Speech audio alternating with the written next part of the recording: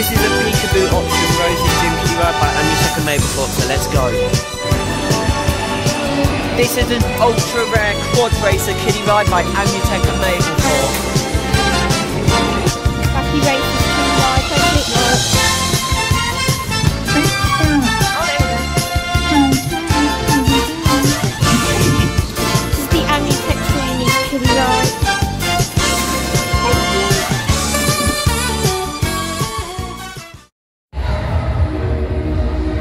This is a Jerry the Giraffe kiddie ride by R.G. Mitchell.